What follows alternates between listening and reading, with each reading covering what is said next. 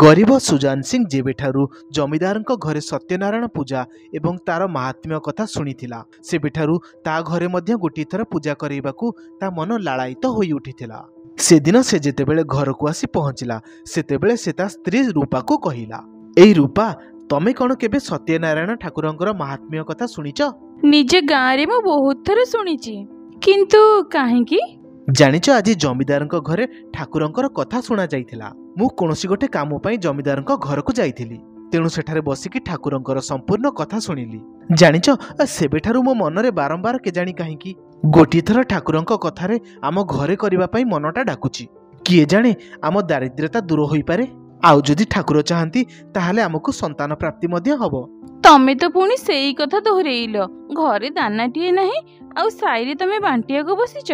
ନିଜ ପାଇଁ ଦୁଇ ଓଳ ଖାଇବା ପାଇଁ ରୁଟି ଯୋଗାଡ଼ ହେଇପାରୁନି ଆମେ ପୂଜା ଖର୍ଚ୍ଚ କୋଉଠି ଉଠେଇବା?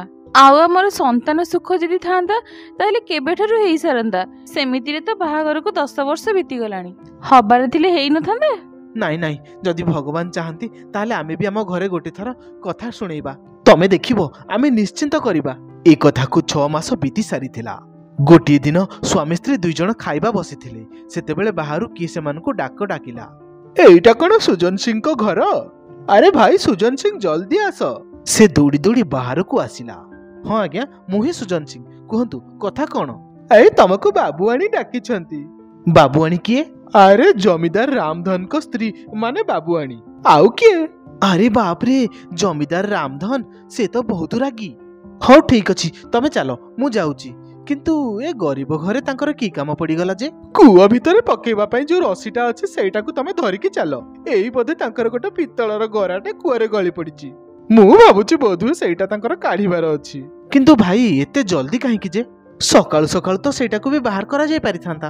ଆରେ ଭାଇ ବାବୁଆଣୀକୁ କାଲି ତାଙ୍କ ବାପା ଘରକୁ ଯିବାର ଅଛି।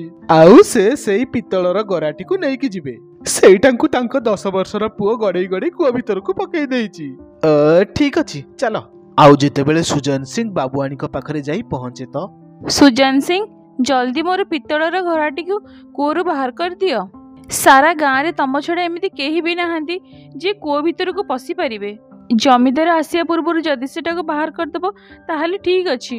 ଅ, ବାବୁଆଣୀ ମୁଁ ତ କୂଅ ଭିତରେ ପଶିବାକୁ ରାଜି ଅଛି କିନ୍ତୁ ଏବେ ବହୁତ ରାତି ହେଇଗଲାଣି। ଆଉ ଏତେ ରାତିରେ ତ ସାପ ବିଛା ମାନଙ୍କର ବହୁତ ଭୟ ଅଛି। ସୁଜାନ ସିଂ ତମକୁ ମୁଁ ଏ କାମ ପାଇଁ ପୁରା ଦଶ ଟଙ୍କା ଦେବି। କେବଳ ମୋ ଗରା ଟିକେ ବାହାର କରିଦିଅ। ଯଦି ଜମିଦାର ଏ ବିଷୟରେ ଜାଣିବେ ତାହେଲେ ସେ ବହୁତ ଗାଳି କରିବେ ଆଉ ପୁଅକୁ ବି ବହୁତ ମାରିବେ। କିନ୍ତୁ ବାବୁଆଣୀ ଏ କାମକୁ କରିବାରେ ବହୁତ ବିପଦ ଅଛି। କିନ୍ତୁ ଆପଣ ଯେବେ କହୁଛନ୍ତି ତାହେଲେ ମତେ କୂଅ ଭିତରକୁ ପଶିବାକୁ ତ ପଡିବ। ଆଉ ସେଇଟା ବି ଜମିଦାରଙ୍କ କୂଅରୁ। ଯଦି ସେ ମତେ ଦେଖିନେବେ ନା ତାହେଲେ ପଇସା ନ ଦେଇକି ଏଠାରୁ ଭଗେଇ ଦେବେ। କିନ୍ତୁ ବାବୁଆଣୀ ମତେ ଆଉ ଟିକେ ଅଧିକ ପଇସା ଦିଅ। କିନ୍ତୁ ମୁଁ ଦଶ ଟଙ୍କା ତ କହିଛି। ବାବୁଆଣୀ ଆଜିକାଲି ଦଶ ଟଙ୍କାରେ ଗୋଟେ କିଲୋ ଚାଉଳ ବି ହଉନି। କିଛି ନହେଲେ ଗୋଟେ ବେଳା ଭୋଜନର ପଇସା ଯଦି ମିଳିଯାଇଥାନ୍ତା ତାହେଲେ ମୁଁ ଏ ବିପଦକୁ ମୁଣ୍ଡେଇବାକୁ ପ୍ରସ୍ତୁତ ଅଛି। ଓହୋ ଜଲ୍ଦି କର। ମୁଁ ତମକୁ କୋଡ଼ିଏ ଟଙ୍କା ଦେବି। ତମେ ଜଲ୍ଦି ଜଲ୍ଦି କୂଅ ଭିତରକୁ ପଶ ଆଉ ସମସ୍ତେ କାନ ଖୋଲିକି ଶୁଣିଦିଅ। ଆଉ ଯଦି ଜମିଦାର ଆସିଯାଆନ୍ତି ତାଙ୍କୁ ଏଇ ବିଷୟରେ ଜମାରୁ ବି କେହି କହିବନି। ଯେ ମୋ ଗରାଟାକୁ ବାହାର କରିବ ବୋଲି ତମେ କୂଅ ଭିତରେ ପଶିଛ ବୋଲି। ଏ ପିଲାଟାକୁ ବି କଣ ବି କହିବି ଯେ ଗଡ଼େଇ ଗଡ଼େଇ ମୋ ଗରାଟାକୁ କୂଅ ଭିତରେ ପକେଇ ଦେଇକି ଆସିଲା। ତା ଭିତରେ ମୁଁ ମୋ ସୁନାର କଙ୍କଣଟା ରଖିଦେଇଥିଲି ସକାଳୁ ସକାଳୁ ସିନ୍ଦୁକରେ ବାହାର କରିକି ମୋ ଗରା ଭିତରେ ରଖିଦେଇଥିଲି ଯେ ମୁଁ ଗଲାବେଳେ ପିନ୍ଧିକି ଯିବି ବୋଲି। କୋଡ଼ିଏ ଟଙ୍କାରେ ତ ଆରାମସେ ପୂଜାର ଖର୍ଚ୍ଚଟା ବାହାରିଯିବ। କିଏ ଜାଣିଛି ଠାକୁରଙ୍କ ଆଶୀର୍ବାଦରୁ ହିଁ ସେ ଗରାଟା କୂଅ ଭିତରେ ଯଦି ପଡିଥିବ ଖାଲି ସେ ଗରାଟା ଖାଲି କୂଅ ଭିତରୁ ବାହାରି ଯାଆନ୍ତା କି? ଏବେ ସୁଜାନ ସିଂ ନିଜ ଅଣ୍ଟାରେ ରସି ଭିଡ଼ିଲା ଆଉ ଠାକୁରଙ୍କୁ ସ୍ମରଣ କରି କୂଅ ଭିତରକୁ ପଶିବାକୁ ଲାଗିଲା। କୂଅ ଭିତରେ ଘନ ଅନ୍ଧକାର ଥିଲା ଆଉ ତା ମନର ଭ୍ରାନ୍ତ ଧାରଣା ହିଁ ସାପ ରହିଥିବାର ଅନୁଭବ କରାଉଥିଲା। କୂଅ ମୂଳରେ ଲୋକମାନଙ୍କର ଭିଡ଼ ଜମି ରହିଥିଲା। କିଛି ସମୟର ଅକ୍ଲାନ୍ତ ପରିଶ୍ରମ ପରେ ସୁଜାନ ସିଂ ହାତରେ ଗରାଟି ବାଜିଲା ହଁ ଭାଇ ଏବେ ରସିଟାକୁ ଟାଣ। ଆଉ ବାହାର ପଟୁ ରସିଟି ଯେମିତି ଟଣାଗଲା ସେ ଅଧାରୁ ଉପରକୁ ଆସି ସାରିଥିଲା। ସେ ପର୍ଯ୍ୟନ୍ତ ଜମିଦାର ସେଠାରେ ଆସି ପହଞ୍ଚିଗଲେ। ଏଇଠି ଏତେ ଭିଡ଼ କାହିଁକି ଲାଗିଛି ଜମିଦାରଙ୍କ ସ୍ୱର ଶୁଣିବା ମାତ୍ରେ ସମସ୍ତଙ୍କର ନିଶ୍ୱାସ ଅଟକିଗଲା। ରସି ଧରିଥିବା ଲୋକମାନଙ୍କ ହାତରୁ ରସିଟି ଖସିବାକୁ ଲାଗିଲା। ଆରେ ବଞ୍ଚାଅ ବଞ୍ଚାଅ ମୁଁ ଖସି ପଡ଼ିବି। ମାଲିକ କାହାର ଛେଳିଟା ବୋଧେ କୂଅରେ ଗଳି ପଡ଼ିଛି ସେଇଥିପାଇଁ ତାକୁ ବାହାର କରିବାକୁ ସୁଜନ ସିଂ କୂଅ ଭିତରକୁ ପଶିଛି ତମେ ମାନେ ନିଜ ଗାଈ ଛେଳିକୁ ଇଆଡେ ସିଆଡେ କାହିଁକି ଛାଡୁଛ ଏତିକି କହି ଜମିଦାର ଭିତରକୁ ଚାଲି ଆସିଲେ ତାଙ୍କ ସ୍ତ୍ରୀ ଦୌଡ଼ି ଦୌଡ଼ି ପାଣି ନେଇକି ଆସିଲେ। ବାହାରେ ଦେଖିଲ କାହାର ଛେଳିଟା କୂଅ ଭିତରେ ଗଳି ପଡ଼ିଛି ହଁ ହଁ ଦେଖିଲି ତମେ ନିଜ କାମ କର ତମର ସବୁ ପ୍ରସ୍ତୁତି ପର୍ବ ସରିଗଲାଣି? କରୁଛି ଏବେ ଏବେ ଆରମ୍ଭ ହେଇଛି ତମେ ଟିକେ ଆରାମ କର ତାପରେ ମୁଁ ଖାଇବାକୁ ବାଢୁଛି ସେତେବେଳେ ବାହାରୁ ଶବ୍ଦ ଶୁଣାଗଲା ଆଣିଲି ଭାରି ଆଣିଲି ଭାରି ଏ ବାହାରି ଗଲା ଜମିଦାରିଣୀ ଏବେ ଘରୁ ବାହାରକୁ ବାହାରି ଆସିଲେ ଆଉ ଝଟସେ ଘୋଡ଼ାଟିକୁ ହାତରେ ନେଇ ଭିତରକୁ ଚାଲିଗଲେ। ଧଇଁ ସଇଁ ହୋଇ ଛାତକୁ ଯାଇ ପହଞ୍ଚିଲେ।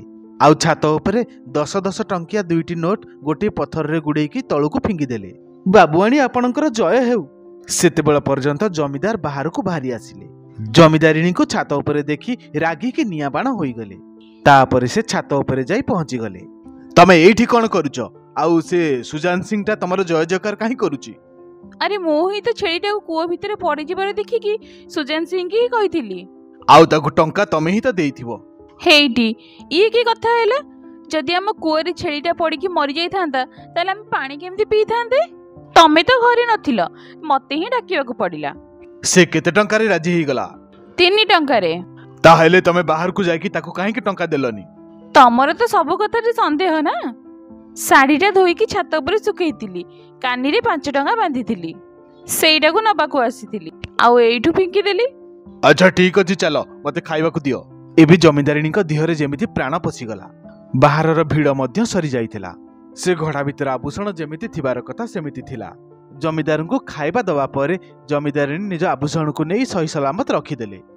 ଆଜି ତ ମୋ ଜୀବନ ବଞ୍ଚିଗଲା ନହେଲେ ଏଇ କଞ୍ଜୁସ ଜମିଦାର ମତେ ଖାଇ ଦେଇଥାନ୍ତେ। ଏକରେ ତ ଏତେ ବଡ଼ ଅସାବଧାନତା ଦୁଇରେ ସୁଜାନ ସିଂଙ୍କୁ କୋଡ଼ିଏ ଟଙ୍କା ଦେଇକି ଘୋଡ଼ା ବାହାର କରିଛି। ଏଇଟା ତ ଭଲ ହେଇଛି ଯେ ଈଶ୍ୱରଙ୍କ କୃପାରୁ ସିଏ ସେଠି ନଥିଲେ।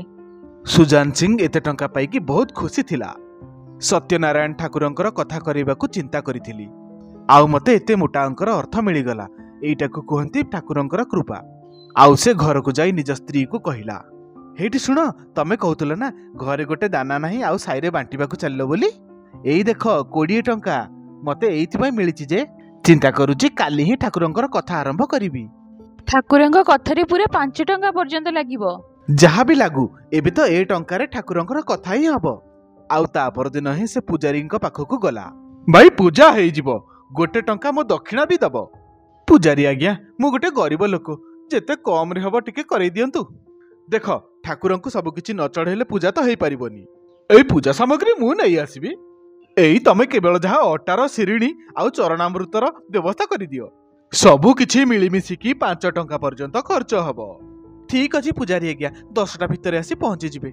କିନ୍ତୁ ପୂଜାରୀ ଆଜ୍ଞା ଆ ଚାରି ଟଙ୍କାରେ କରିଦେଲେ ଭଲ ହୁଅନ୍ତା। କାହିଁକି ନା ଆମେ ପୂଜାରୀଙ୍କ ଲାଗି ଅଟା ବି ତ କିଣିବୁ। କ୍ଷୀର ଦହି ଚିନି ଏଇଟା ସବୁ ଅଲଗା ଖର୍ଚ୍ଚ। ଅ ଚାଲ ଚାଲ ଯଜମାନର ଖୁସିରେ ହିଁ ଆମର ଖୁସି।